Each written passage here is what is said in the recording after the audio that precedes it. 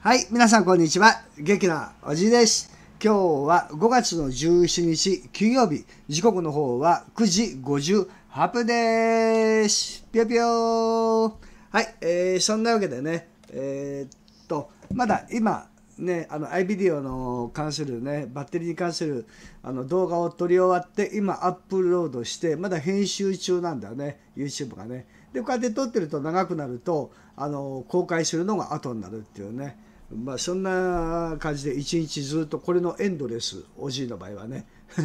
撮ってアップして処理中にまた撮ってアップしてってねこれこれをずっと繰り返してるよね、えーそんなわけであのこの時間は何のお話かっていうと,、えっと昨日の夜にね、えっとお話に出したえっとこれこれ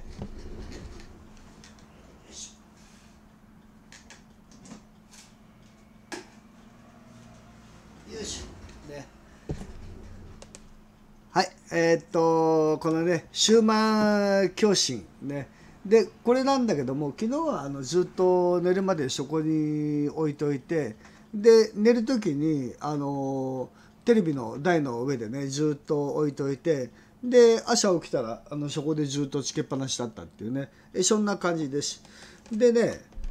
あのまあ、つけてるつけてないでこうさこう触ってもなんかちょっと冷たくなるななんかパワーを感じるような気もするけどもいや実際何もないよねって感じで。ななんかこう、うん、分かんないね。あので寝る時に両方とも青と赤の LED を全部消してねあの光邪魔にならないようにオフにしてあのつけっぱなしなんで、まあ、オフでもこれは LED の演出なんであの電源が入ってればねそのまんま出てるよっていうことで、まあ、おじいは今信じて使ってるんだけどまああのなんていうのどっちか1個でもランプがついてなかったらあの電源オフの状態でよってなったらまたねあの話別なんだけど、うん、で実際にこれねあの使ってみてどうかっていうとあのまだ今日今のところは分かりません。大きな変化はあのあるんだけどあのこれと関連してるかどうかは全く分からないっていう。どういうことかっていうと,、えー、と昨日夜飲みながらねあの動画撮ってたんでうん。なもんでねちょっとこう喋りながら喉が今日焼けているっていうこととあのちょっと久々になんか遅い時間ね喋りながらあの飲んでたんでちょっと疲れたかなっていうね。でねえっとまあ、いつも疲れてバッタン級でで夜中にあの1回か2回ぐらいトイレに起きてっていうかあのもう寝るまでずっともう寝る寸前にコーヒー飲んだりお茶飲んだりしてるでしょ。でお茶もほらあの大体700から1リッターぐらい飲んでるんであの水分だけ結構と取るんだねおじいね。だから夜中トイレは行くんだけどあのー昨日もだから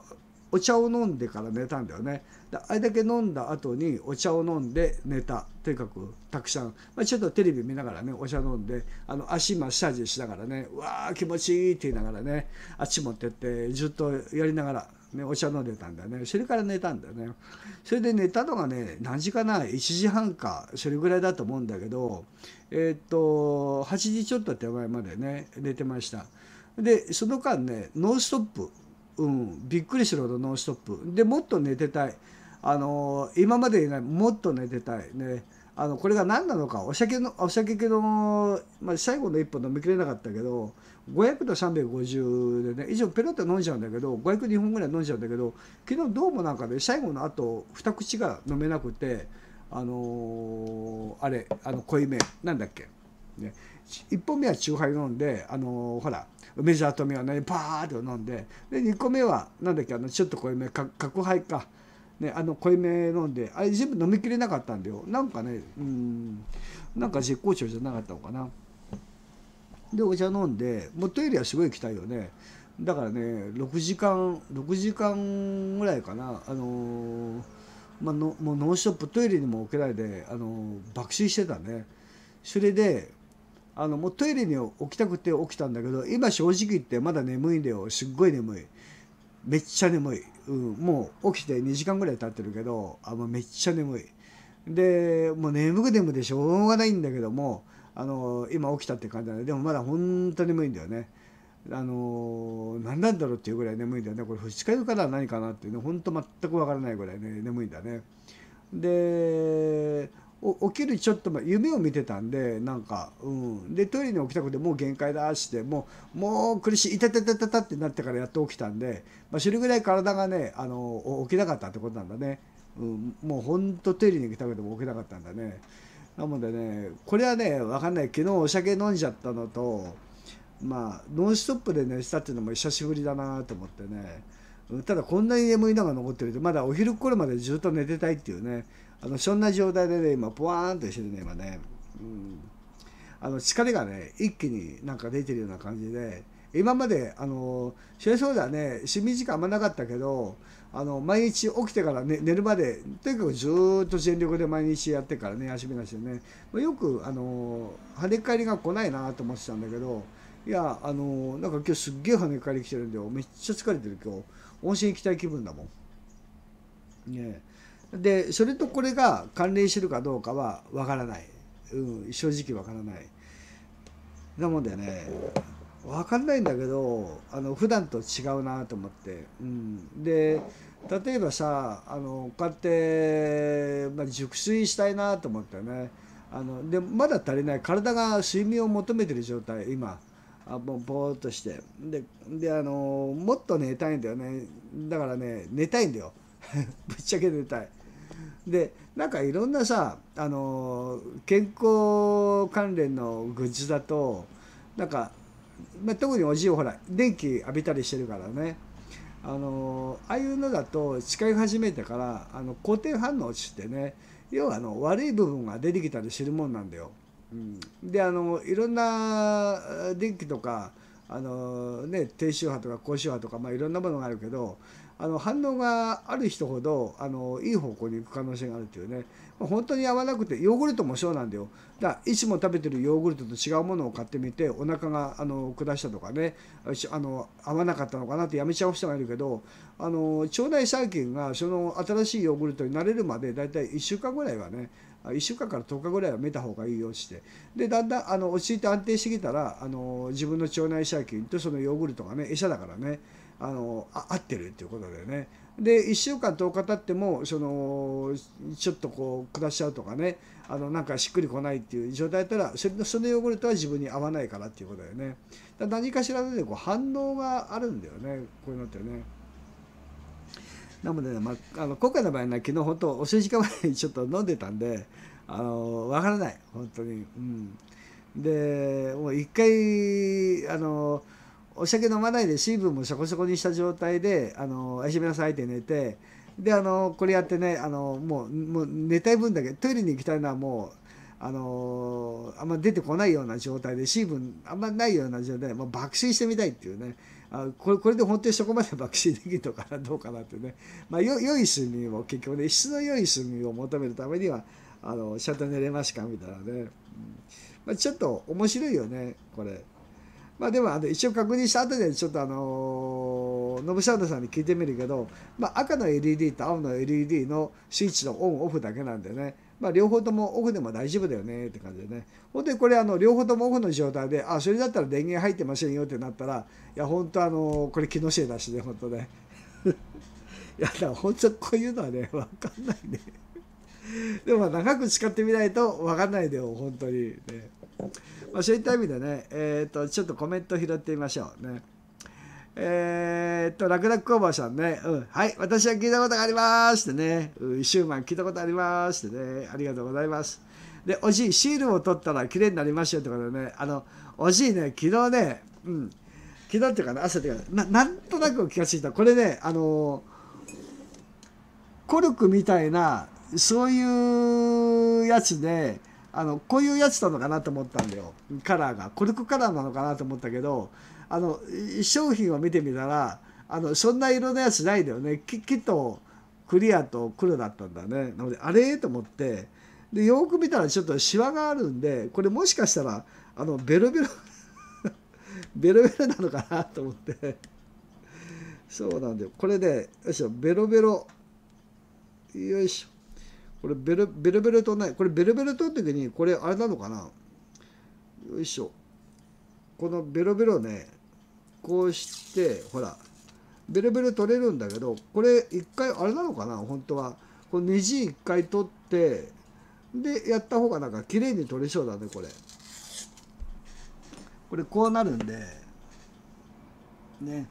あのベルベル貼って上からあのこれやってあるんでね。これ本当はよいしょネジなんだろう。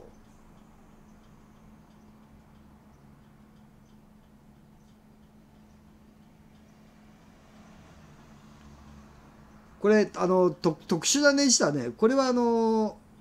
あちょっと待ってネジとか下か。あのここのここの六角ここを押さえて回せばいいんだね。あのびっくりした。あの特殊なあの南角レンチかなと思ったけど下からあの回してあるんだねこれね。ビスでね。だこれ一回取ってやるとこれ綺麗になるんだねこれね、うん、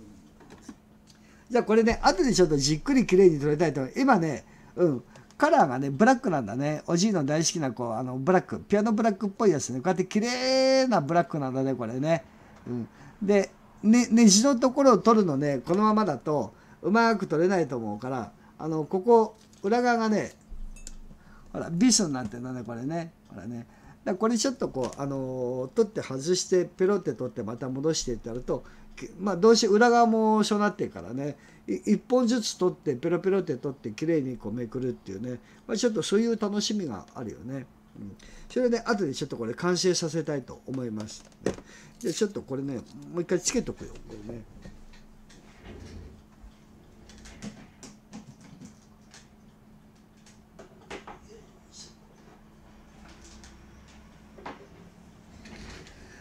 でおじい今どうしてるかっていうとあの青の LED だけで今オンにしてるねまあ両方なくてもいいとは思うんだけど、まあ、一応ブルーはまあ綺麗だからいいかなと思ってね、うん、一応つけてはいるよ、ね、さあそんなわけでねえーと、ありがとうございます。シールを取ったらね、綺麗になるね。おじいもなんとなくね、薄々気がついたんだよ。今日朝、まじまじ見て、この、このシワなんだろうと思って、ああ、ベロベロかなと思ってね。はい、えー、次はね、えっ、ー、と、もどきさん。うん、おじい、このタイプの製品、確かおじいも昔読んでいた AV ビレッジに載っていたような記憶ありますよ。おじいがよく話す波動パワーも AV ビレッジよく広告出ていましたよね。えー、ググってみると昔よりはるかに今回紹介した商品と似たものがたくさん出てました。えー、もどきが次、ノブサウンドさんから購入するとしたらシンプルなデジタルパワーアンプでしょうか。ね。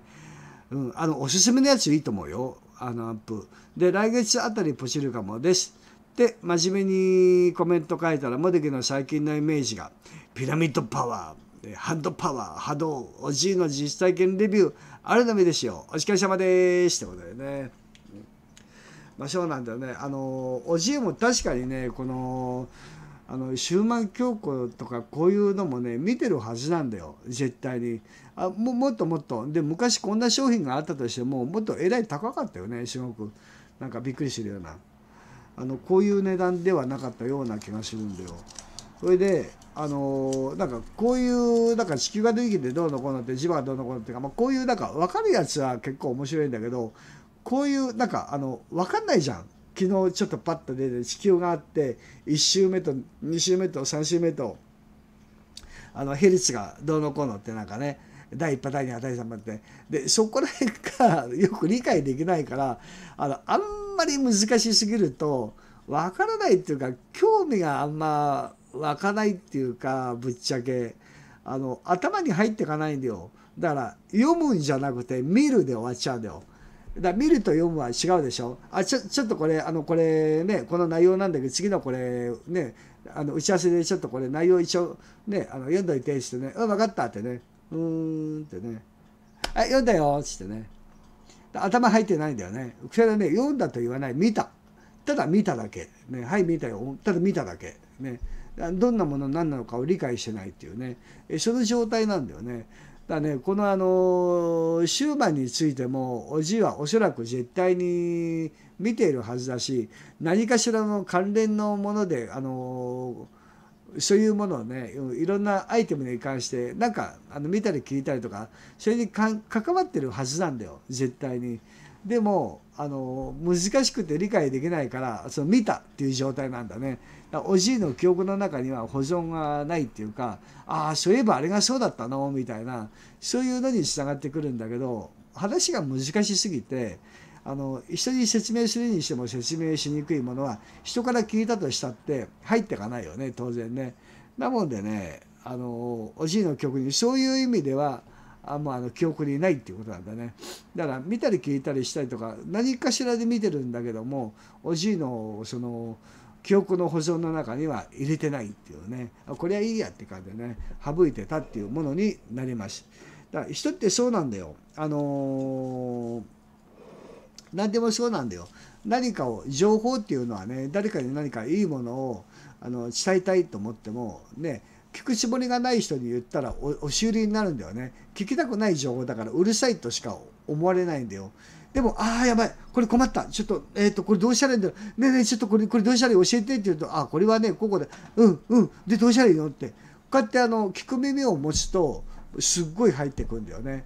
だからよくあのいろんなネットワークビジネスなんかでもね必ず先手は負けるあの同じビジネス同士でお互いをリクルートし合いっこしようっていうねあのお互いにその野心を持って「くんであいめしぐあいいですよあいめしぐ」って言いながらねこうやってあってでそれぞれの持ち玉をこう持ちながらねで頭のいいあのやり手の人は必ず後手を選ぶんだよ。先手を選んだらもうその人はもう負けもうあのー、もう戦闘開始する前からもう先手を取ったら負けなんだよ。世間世間話から入りながらね「いやいや」って言いながらねあであのあで今日はあの何を持って帰りましたみたいな。もうこれで先切り込んじゃった方が勝ち。で相手の言いたいことを全部言わしちゃって聞いてきてて聞く見ないでしょ。ただあのもう何て言うのお互いに話したくてしょうがない時はあのこれがね素人同士になるととにかく自分のものを聞いてもらいたい。相手が何やっても自分のことを聞いてもらいたいなってこうなるから。そうすると「いやあの実はこれがね」って「いやまあ僕もしょうがないね。ああ」ってかね。で先に先手取ってやったと思って言うだけ言ってもこっちは自分のことを言いたくてしょうがない。早く終わってくんないかなしか思わないから。全然聞く耳がないから。なんか「うんうんあそうなんですね」って「うんうん」って言いながらね。で「あ終わりました」みたいなね。で「はははもう言いたいことは終わったと伝わったか。らいいでしょういいでしょういいでしょう」ってこうなるんだよね。で、今度5点に回った人はね、あ、言いたいことがあったかなってね、えっと、あ、そうですか、いや、ありがとうございましたってね、で、あ、じゃあ次私はよろしいですかって、あ、どうぞってなんでね、ほんともうこの人は言いたいこと言っちゃったから、あと劇薬に回るから、この人が言ってることがすんだり全部、もう、もうドーンってこう入ってくるんだよね。だからこの人がねもう勝ちなんでこの人が先手を取っているところはこの人では入っていかない。後手の人のやつは先手の人に入っていくってもうここで勝負あったって感じでこの人は絶対この人にリクルートされてこの人の傘下に入るっていうね。大体このパターンがねあの多いんだけど、まあ、しあの素人同士だとそうなんだよね。で賢い人っていうのは必ずあのオセロと同じだね。あの後手を選ぶっていうね、うん、あの将棋もそうだよね、うん、将棋はあの玉玉の方が後だっけか確かそうだよね。違ったか。そうだよね、うん、ちょっとおじも忘れちゃったけども、まあ、そういうのがあるんだよ、ね、こういうお話って本当にねあの興味がないと入ってかない。でちょっと歩むとかああいうのが好きで入ってったとしてもよっぽどそれがあの理解できる頭を持ってないとああなるほどねってならないんだよ。でなるほどねってならないからこの補足みたいなので、ね、例えばあの終満強固によってこうこうこうでこうこんな商品でしょうでその終満強固とはみたいなねあのとバーってこうあるわけだ。あとこれはどうしよう発信するのとかねじゃあじゃあそのあのその周波数っていうのはこういったものがあってねみたいなそういうものがでどんどんどんどん掘り下げてなんかあのなっていくわけだ。結局ね。だからね本当にねあの例えば高校入っていやあの分かんないったらね。じゃあどこまでじゃあ中学まで遡りましょう。中学に一番遡って分かんない。じゃあどこから分かんないいやえ小学校から分かんない。じゃあここまで遡りましょうって。あそういうのがあるじゃんね。塾なんかでもそうだと思うんだけど家庭教師とかね。あのそんな感じでねこ個々にその興味レベルと学力レベルが違うから同じ商品を言ったとしたって理解度が全然違うんだね。なのでおじいはその宇宙とかああいうものはものすごくあの分からなくてもその説明書いてある説明っていうのがなんとなく宇宙の原理というのはこう分かりやすく書いてくれてあるんだよね。でもその例えばこの間のブラックホールが初めてねあの肉眼で見るように撮影に成功したっていう地球のいろんなところにあの望遠鏡をあの地形でね。であのそれをあの完食したことによってしてあげてであのそのブラックホブラックホールにこう吸い込まれていく時に行く時のあの一番みたいなあのあれは発生するからであのそそこをあのたくさんの望遠鏡で拾って1個では気が付かなかったものをあの吸い込まれた時にバーって発生するものがあったらそこのところにぽっかりしたものができてこれがあの吸い込まれるこれがブラックホールなんだってやっぱりこれがあったんだって。ブラックホールってのは光も吸い込んじゃうから見えない世界なんだけどあのそれで初めてその周りをあの観測することによってあのそれを発見することができたっていうねやってたよね。でそれにイメージとかの色付けをしてグワーって入ってってみたいなね、まあ、今度は、ね、ホワイトホールがあるんだけど、まあ、こういうやつっていうのはそういう説明を聞いてると分かりやすいでしょ？あの皆さんもあのタイムマシーンなんかさどうやって時間をワープするんだったらこうやって時空があってね宇宙世界見てみたいね。でこう時間の流れがねこうやってあの1分10分1時間ね1日後1ヶ月後ってあったらこの時空をねぐにゃってぐにゃってこうやって曲げたらねポンっていくことができたらねあの一瞬にして要は1ヶ月後とか来年に行くことができるっていうね。でこっちからこっちに行くこともできれば、ね、過去に戻ることができるっていうね。こういう理屈で実際にありえない過去に戻ることはできないし未来に行くことはできないけどもこの理屈でもって納得してワープワープワープって当時言ってたんじゃないの？そうでしょ？なもんであのおじいは瞬間移動っていうのはあの理屈的にねよく喋ってるんだけどそれはできるんだよね。なんでかっていうと,、えーと、A 地点から B 地点までねあの時速1キロでねあののんびり歩いてました。ね、そうするとあの1時間歩いたら1キロ先まであの行きました。ね A 地点から B 地点に行ってる間に1時間かけてワープしたんだよ。じゃあ今度、あの時速20キロで自転車で A 地点から B 地点まで行きました。ね。だから20分の1時間の20分の1の時間で A 地点から B 地点までワープすることができたんだね。じゃあ今度、あのフェラーリの F1 で A 地点から B 地点まで1キロね。ピューン！ね。ほんの数十秒であのー、行っちゃいました。そうでしょ？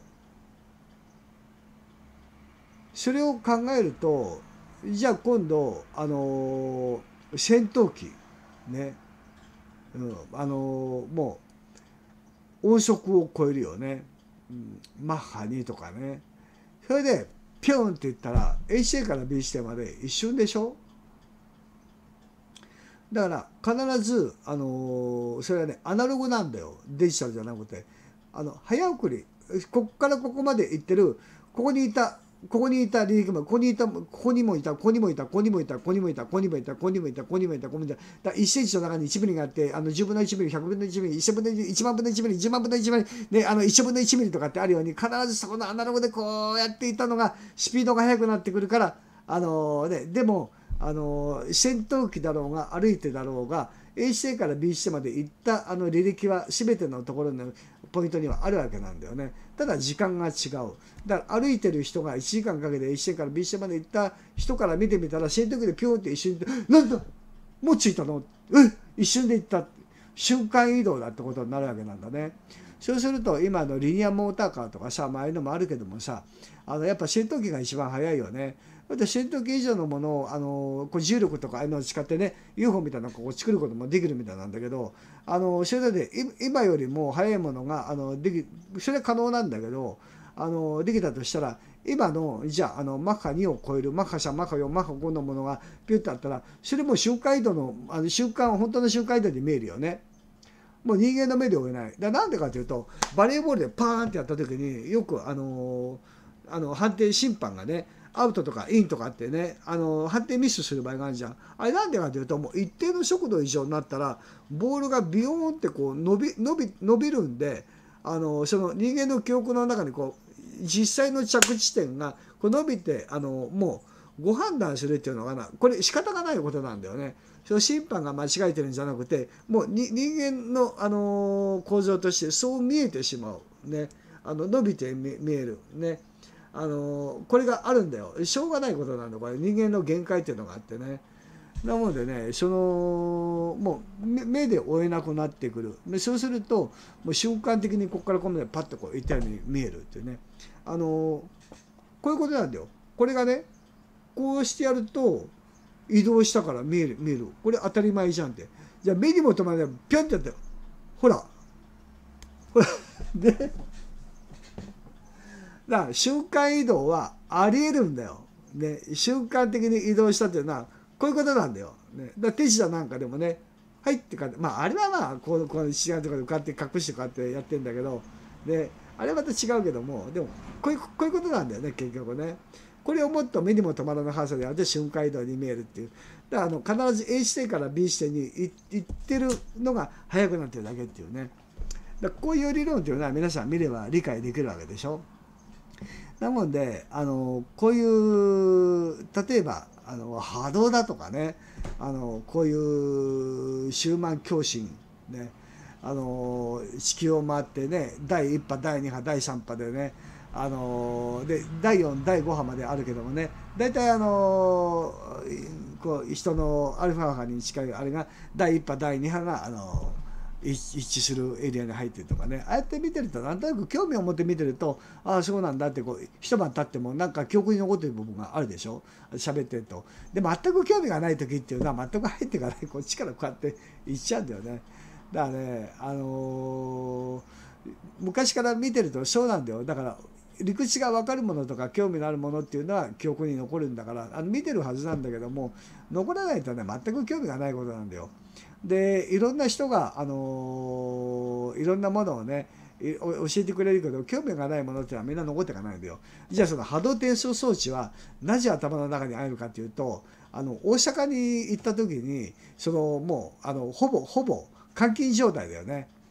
でもうもうすあのもう2対1でねあの怪しいおばさんと若者とだあのいあのアップの人なんだよねそのおばさんがね。でそれを若者に学生さんだかななんかな大学生かなにその何十枚の波動転送装置をね買ったダウンなんだよね結局ね。で味方がついてであの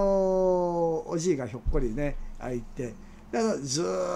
っとそのお話を聞いてねまたそのなんか仲間みたいなのが来てね、うん、でなんかいろんなものねこれで味を比べてくださいとかね どういうものがねどうですか？ってね。うん。買ったのかな？買ってないのかな、うん、分かんないねしてね。あのおじいの場合はあの分かんないものは分かんないって言うんでね、なもんであの「いや分かんないよ」って「じゃあじゃあこれはどうですか?」って。なんかりんごとかいろいろバナナとか持ってきてくれてでこれでね、まあ、10分やってみてどうですかってね「いや分かんないよ」ってちょっと時間が足んなかったかもしれないからじゃあちょっとこれ置いてる間にねちょっとあのこの話を聞いてくださいってねずっとスイッチをオンにしたままねでずっと話聞いて「あ20分経ってじゃあ今度はどうですか?」ってねこうやって見られてくるの。いや分かんないね一緒だね またそういうことで、あの、そのなんか台風のその話、渦の話もしてね。で、あの、紙にね、右巻きの渦と左巻きの渦とあって、そこのところにオレンジジュースをね、あの、こうやって置いてね。で、あの、なんかその、渦の原理でね、南半球、北半球の その話を聞いたから、乗っけて、で、あの、飲み比べたんだね。だなんとなく変わったような気がするんだよね。で明らかに絶対に変わったっていうのはこれねあのドルパパに通用しなかったんだけどおじは絶対に明らかにねあの果汁100%のジュースとかねあそういうのを買ってきてであのコップに入れるんで2つコップに入れる。全く同じものを。あ3つ用意する。3つ3つ3つ。あの果汁100%のオレンジジュースを3つのグラスに同じ量だけ入れる。で、あの、かってかけ棒でかけます、スクリュー。その時にカランカランカランじゃなくて、もう真ん中に渦が巻いて、あの、お風呂に入った時にこうやってやって、こうやって渦、こうやって出るでしょ竜巻みたいな、ガーって。ああいう状態でガーってやって、真ん中に、あの、これ、これ渦がこうできる状態で、こうして回して、ね、あのもう1分ぐらい、もう100回ってよく言うけどね、まあ1分ぐらいこれガーって、渦で回さないでカランカランカランカランカランそれそれ渦巻いてないよつってね渦巻いててこうカカーって右回りと何もしてないのと左回りに渦巻いてガーってこうやるやつ。でこれ飲み比べると味全然違うから。ノーマルがあってであのえっ、ー、とね南半球北半球で違うけどあの台風のあの周りのとねあのあれなんだけど関係してくるんだけどでネジとかもそうだよね。あの右に回すと閉まる。左は緩むでしょう。大体こういうもんなんだよ。ネジってね。これもねネットワークビデオですよねそのトークのなんかいい子なんでそれがね。もうそのまんまここに入ってんだあの関係者で話聞いてると。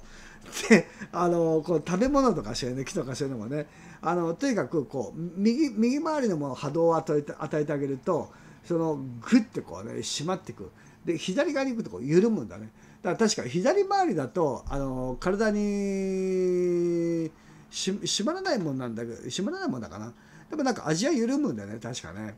で右回りにすると締まるから味が締まるんだよなんか苦手ね。違ったかな。で体にいいもんだってないか、ね、逆だったかな。なんかな。もうおじいまでちんぷんかんぷんだよこれね。でわけわかんないけど味が変わるのは確かなんだよ。でおじいあのオレンジジュースでね。右回りにガーって100回回してあっつって。じゃあ今度左に回そうってガーってやって戻った？あ同じかな？じゃあ今度反対にこっち回してみようってね。うわまずくなったって。じゃあまた右側にこうやってやったら戻るのかなって。あってね。あのこうやってやってねああこれ面白いとかって、ね、ずっとやったんだけどあのこれを他の人で、あ本当だっていう人といや全然分かんないって味覚障害じゃないのってね。こんなに劇的に変わるのになんで分かんないのむしてね。であの今度このあのそこの延長上でマジックで白い紙にこう渦を変えてあの乗っけておくだけでこれと同じことができるんだよって話聞いてね。でどうですか分かりましたか？ってそのそのそのあのスクリューの実験をやった後にあの渦の上にあの置いてね左の渦と右の渦で比べてみるとどうですか味がねあんま変わった気がしないんだけどでもなんか変わったような気がするっていうね。それもあのマインドコントロールだよね結局ね。であのこの波動転送装置があってねこれはあのこちらからこちらの方でねなんかあの本当あのもうここから電気を入れてここにあるものに要は気を与えてね要は波動を与えて体にいいいいものにするってね。そでそこでまたオーリングが出てきて、あのー、今じゃあちょっとねここのバナナを持ってねいやこうしてくださいよこうでいいのってねほらほらほらぐっと力入れてくださいってね。ほら。ね。ほら離れちゃうでしょ。でグッてやってたらねこってこれで精一杯でしかってグッて書いてね。じゃあ、あのこのねあの波動の与えたね、うん、あの同じ今度波動の与えたものこれ持ってくださいね。で同じように「O」でやってくださいね。ね。グッてやってくださいねって言ったらねまた「うっうっうっうっいや入ってますねうっうっ」って手抜いてんじゃねえなみたいなね「うっ」つって。でじゃあ今度逆にやってみましょうかってね。じゃあじゃあ、あのー、でおじいさんがじゃあ今度こっちの役やってくれてねまたもうあのー、ねじゃあこっちのねあの通常のやつを持ってねやってくれてね。ピュンピュンってね。こうやって。いやうーんってうーんってね。じゃあこっちのやつを持ってみましょうってね。ふっふっゲッってほら行くじゃんって。いやそれやったら行きますよ。それは力で負けて力じゃなくて普通にやっていくかいかないかでしょってね。いやそれじゃ分かんないじゃん。人によって違うんだもんってね。そんな感じでねやるんだよ本当に。でそんなところに今度はまたあのいろんな仲間が集まってくるとねあのー、なんかあの昔のなんか今売ってないあのなんかメリットみたいなのが出てきてね。であのなんか今度こっちの人が今度そこそこそこでこの人がおじ撃沈したなと思ったら今度この人がまたボコって開けるとね今度はメリットみたいなのカーテン塗ってね「いやこれ知ってますか?」って言う何これいやあのシャンプーとかしかもいや自分はあのシャンプーとかアドピーなんで石鹸で洗ってるんであの使わないですよ。ああそうなんですシャンプーもリンスも使わない。いや全然使わないね。石鹸でパンってこれで終わりですあそうなんですかいや一般的にはシャンプーを使う一般的でしょ？おじ一般的じゃないからってね。で何の時間でいやこのシャンプーシャンプー使わないもんですよね。いやあのでもこれあの見たことありましたよね。それはあるよってね。でこうやってくっつけてよく洗ってきてくださいってかね。石鹸使ってもいいですよってかね。じゃあこうやって洗ってねカーって洗ってね。あ綺麗になりましたよく洗いましたからよく洗いましたですね。もうもうこれじゃもう一回洗ってくださいよく洗いましたからよく洗いましたよってね。ね。ではいあのよくやってくれましたね。ほいでブラックライト持ってきて電気消してね。でボワーンってやってねビヨーってね。あの蛍光剤の入ってるシャンプー。もう今なくなったけどね。ほんとここにボワーンってねあのシャンプー垂らしたとこね残ってんだね。これが石油商品でこうやってでも石油は肌に浸透してしまってるからこれ体に悪いんでしょうってね。こんなものがねあの浸透してあれうわー何これ？ってね。でこの上でね、まあ、かあの顔も洗ったりするでしょ。あともう顔がもうあの蛍光剤でピカピカかけてブラックライターでうわーってね。ね。はい。だからあのこういうねこういうものが入っていないね無添加のねこういうあのねシャンプーとリンスがいいんでしょみたいなね。あのいろんなものが出てくるよね。あのアムウェイとかあの何だっけ乳酒菌とか。ね。いろんなものが出てくるよね。うん、いやででこれは歯磨き粉ね。うん。ね、あのいろんな悪いものがほらシャンのねあのブラックブラックとか見てくれここれが体に悪いでしょなんてね。でこれはねあの本当悪いものが一切入ってないのにちょっとこうお口で液体でこうプチっていい香りでしょ？美味しいでしょ？ってね。いやこれであの悪いものが入ってないんですよ僕僕これ洗ってくれいやこれでいいの？うんぷっぺどうですか？気持ちで。いやこれいくらなのいや2000円ぐらい。うわそんな高いの？いやこんだけで長持ちしますけど普通のはねやっぱり健康健康であの悪いものがなくて長く使えるから。ね。いやこういうものを使わないと人生一生一生きりなんてね寿命に変わってくるよなんてええー、なんていうねあのー、そういうの使うでしょ大体このパターンが多いでしょこれねあのいろいろんなものが出てくるんだよとにかく。うんあのこのあの波動の好きな人のところに行くといろんな仲間がいていろんなものがこう出てくるんだよ本当ね。なのでねあのおじいもそういう話を聞くのはあのすごく嫌いじゃないしそういう人たちをこう打破するのがすごい好きだったからあの、まあ、お話を聞くだけ聞いてねでも分かんないっていうのがすごい大好きだったんでいやもうあの本当面白かったねゲームやって遊んでるよりもネットワークビジネスやってる人といろんな人に出会ってそんな話をあのしてるのがすごい大好きだった時代があるんだよね本当ねこ次は何を持ってきたの？みたいなね。なのでね、まあ、それに通じるものっていうかね、まあ、分かるものは分かるけど分かんないものは分かんないっていうね説明してくれる人によってはこのあのいろんな時間出てくるしね、まあ、木戸さんなんかも流行ったでしょ？カニの甲羅からなんかどうのこうの中止してどうのこうなんですよね。であのなんかあのコーヒーとかあクリープね。うん、あのクリープ。あれもなんかクリープとかマリウムとかで違うからあの漁護するやつね。っていうかあのもう必ずこれを使わないとダメだっていうのがあってあのクリープだかなマリウムだかななんかクリープかなかって入れてねあの本物のあのあの牛の乳から出てるね。であれかってミルク作ってね。であのキト酸入れるんだね。でくるくるくるってこうわーって凝固してねあの液体だったものがこう中でねあのお湯とねそのなんていうのあの脱脂粉乳みたいなこうなんていうのこのあのあれあれがね凝固するんだね、うん、融合するんだねそれでね。で、はい、今食べたあの脂肪分がこのようにみんなねあの固形になって体から出てくるからあの脂肪が吸収されないでそのまま出ちゃうからだからあのおいし好きなだけね脂っこいものを食べてもこれを1カプセル飲めばねあの太らないんですよって「本当?」っつって。であのその木戸さん木戸さんはすげえなんかあのちょっとそれがやられちゃったねなんかねあの それすげえなと思って。いやそんなそんな食べたもんがそんなそんな中でね最後食べてあのみんな漁港して出るわけないじゃないですかね。あのまた冷静な人から後からかてでまたそれとこれ食べてるものの油とまた違うからみたいなね。あのじゃあこれ今食べてるものこうやって入れてね入れてマヨネーズとかいろんなもの入れてこれ入れて固まりますからこうやってねあ全然ダメなんででしょ？っつってね。あれを使わないとこうならない。ああやられたよとかさ。ね。あるでしょ？あのガラナとかさ、ね、なんかオーバードライブとかなんかやばい名前ではねオーバードライブってねもうあの限界超えちゃうねオーバードライブってねあったでしょ？であの国内のやつはあのいろんな薬事法があってねちょっと日本のやつはあるんだけど50年からこの海外のやつがこれがすごいんだからっつってね。本当もうもう元気なくなってね。これを一粒でピョキーンとうわーってなっちゃうオーバードライブなんだよね。ねなんかこれがパイナップルとかなんかなんかいろんな自然なれが出てきてねやばいものは入ってないよっていうね。なんかとにかく元気が出るとかってね。いやそれすごいねなんて。でどうでどうですか？なんか、うん、なんかすごいなんかパワードライブ出たような気がするかなって。じゃあちょっとこれ1個もらってみようかな。結局ハマってんじゃんみたいなね。あるでしょそういうのね。だからね。だこういうのはね本当ねあのー、まあ聞く目を持って信じ信じるものはあのスクライブじゃないけどあの、まあ、どんだけ自己満足できるかの世界になってくるんだねこういうのってね。うん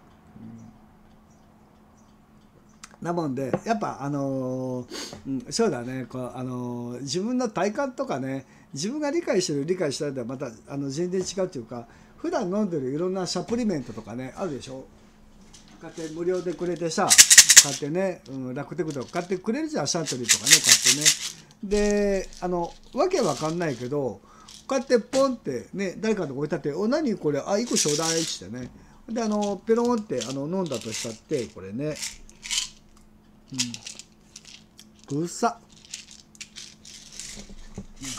でこんな粒。みんな飲まないでしょ？これこれ何の粒だって分かんないのに1個ちょうだいって飲む飲まないでしょ？こんな錠剤なんて置かないから。でしかもこれは何でしようって分かってたらああなんかそれにいいのかなと思って飲むけど分かってなかったら飲まないでしょ？あのキューピーコーワゴールドだってそうでしょ？これを飲むとすげえ元気になるだって思うからあれを飲むわけでしょ？ね。あの栄養ドリンクとかしてるのもさみんなそうじゃん。これを飲んでよしよし頑張った。よしこれで栄養補給したぞ。よし頑張ろうってそういう気持ちになるわけじゃん。まあ理屈的には栄養が入ってるからあのー、まあパワーは出るんだろうけどでも人間今の現代社会って栄養取りすぎだからね。栄養取りすぎだからあの丸くなっちゃうんだからあの栄養って必要なのかなってね。偏った栄養をバランスよくっていうのはまああのいいと思うんだけど。ね。あのいろいろそういうもんじゃん。だ健康食品とかああいうのもさよくじいちゃんばあちゃん集めてねあのいろんなものを売ってるところもあるしいろんな装置もあるしね。あのもうすごいいろんなものがいっぱいあるよ。ね。あのお袋に残してたものがねなんだよこれみたいなねまあ、あのネットで調べて、わ、これこんなにすんのね、ここれ使ってないのにこんなのに、うわーみたいなものがすげえあるんだよ。いや、よくも隠れてこんなものみんなこれ化けちゃったな、みたいな。まあ、あの、自分たちがね、あまあ、あの、まあ、頑張って働いたお金で自分で買ってるんだから、まあ別にそこは全然、あの、文句はないんだけど、まあ、あの、それで世の中が回ってるってやつだね、結局ね。でもそれを、あの、お話を聞いて、わからないと、なんか、あのーいいものがいいいい効果が出ないというかね、まあ、逆にあの小麦粉の粒でもこれがねあのスーパー元気になるもとで万病に効くんだってね。パンって飲んだだけで本当にあの風邪が治ったりがんが治っちゃったりとかね。そんな話も聞くわけじゃん。なんか。なので本当ねあの病は気からっていうけどもこの気持ちの持ち方で全然違うしなんかこういろんなこういろんなことわーってやってわーってやってもうこんなもうあの嫌なことばっかりネットなんかやりながらねわあまた変な話が来たとかねもういろんなこと電車バタバタバタバタって吹き込んできてあだこだダメでこれあーってなってくるともう気持ちが病んじゃう。これでも気持ちが病んじゃってると何をするにしてももうマイナスの方しか働かないし、ね、悪い気がこういっぱい出てるんだよ。で結局ちょっとこう病気になっちゃったりとかねあのちょっといかようになっちゃったりとかそうなっちゃうんだよ結局。だ本当にね、あのー、気持ちがやっぱ笑う方には服来たんじゃないけど笑ってるといいものがもういい物質がドッピュンドッピュン出てくるんだね。あの悪い気持ちの時には悪いものがうわーってこう出てるから全然違うんだよ本当。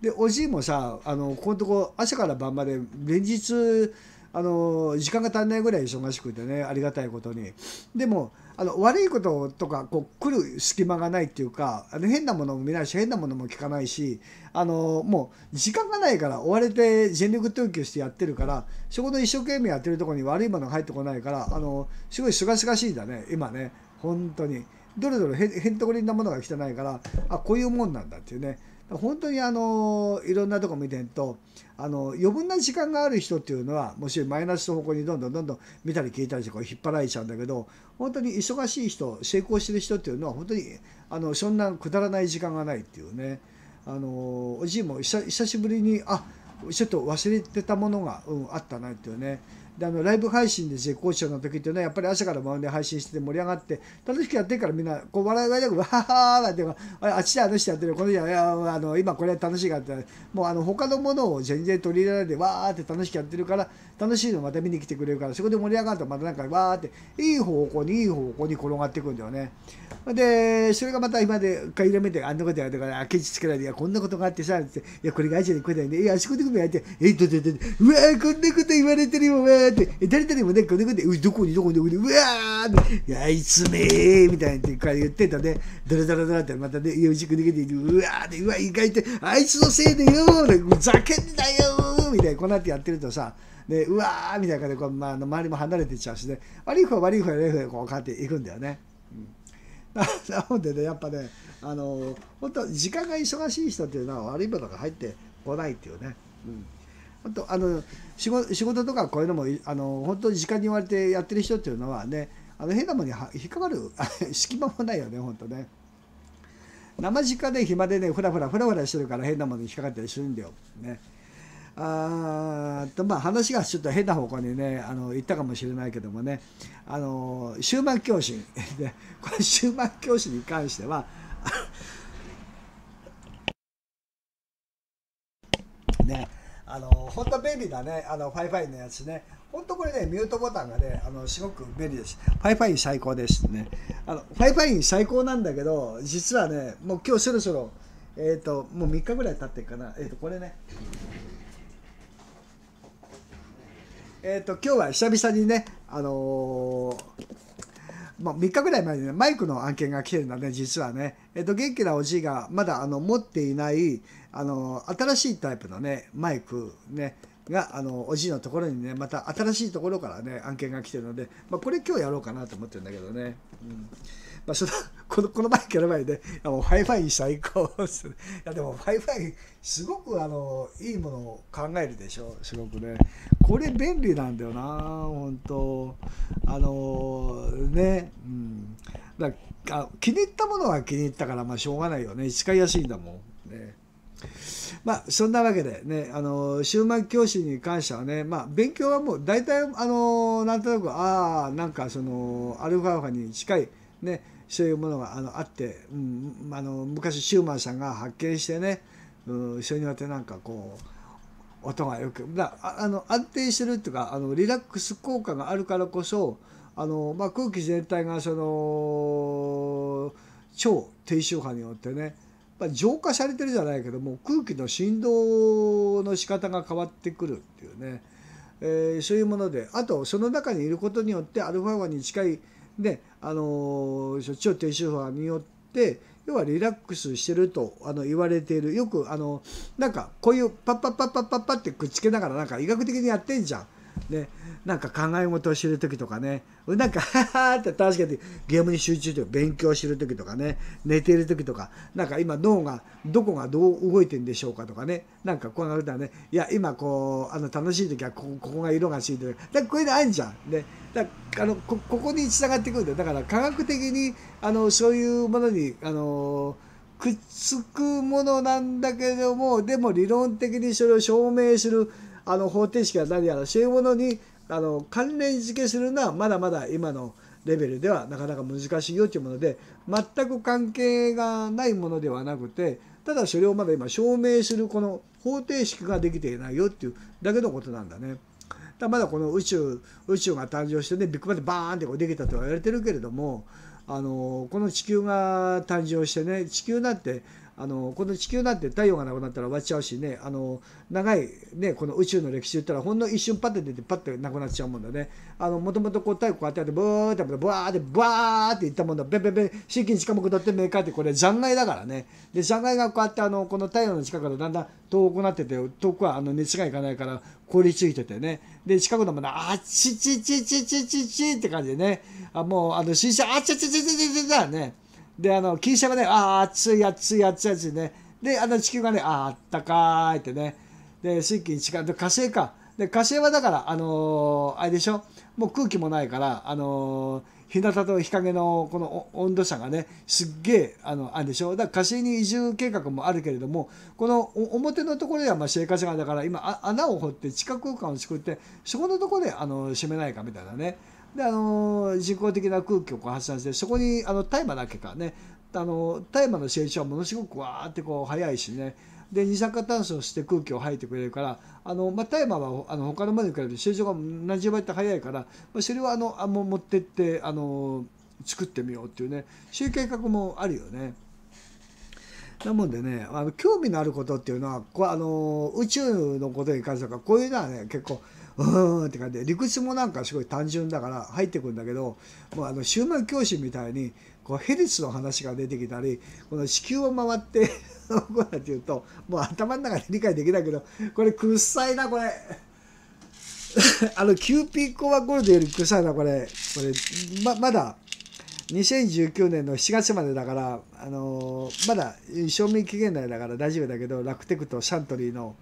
あのーなんかねあの入社金の間かなんかあの見本でもらったんだけどこれ毎日飲んでるとねあのいいんだろうねこれね。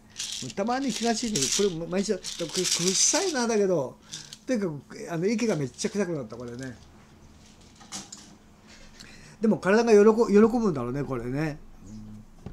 まあそんな感じでねあの時間をかけてこの終満教師についてはねあのおじいもお話ししていきたいなと思います。であと音だよね、うん、音聞く時に今度またあの下に行く時にあのー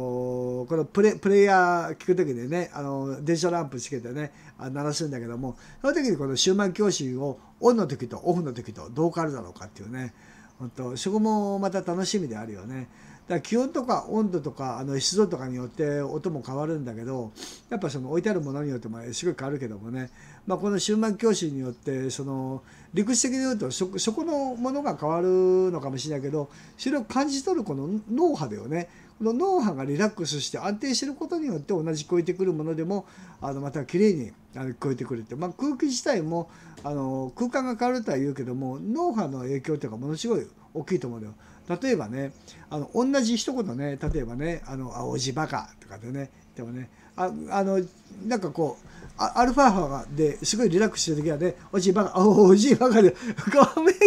おじバカだもんだってしょうがねえじゃん。だってだってもうしょうがねえもんだって。もう大学行く大学行ったって別に時間持ってねえしもうどこに行くこでレシゲームやったらすごい多分おじバカだもんば